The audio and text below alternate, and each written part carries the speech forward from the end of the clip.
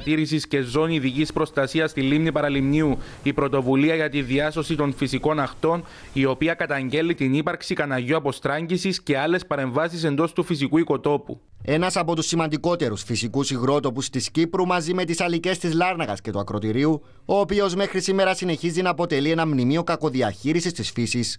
Ένας βιότοπος ζωτικής σημασίας που θυμίζει την ανεπάρκεια, αδράνεια ή άρνηση των αρμόδιων αρχών να προβούν στη λήψη των αναγκαίων μέτρων προστασίας των περιοχών του δικτύου Natura 2000 στην Κύπρο. Μιλώντας σήμερα στο τηλέφωνο και με τον Δήμαρχο Παραλιμνίου, επιβεβαίωσε για τη δική του την ε, θέληση να βρούμε λύσεις. Υπάρχει καλή θέληση από όλες τις μεριές, θέλω να πιστεύω.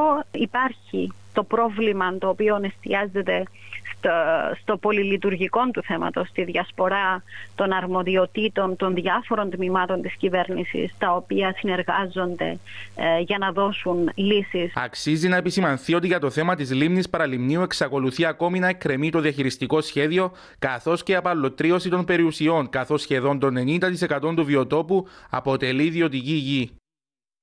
Η πλήστη των ασθενών με κορονοϊό ευτυχώς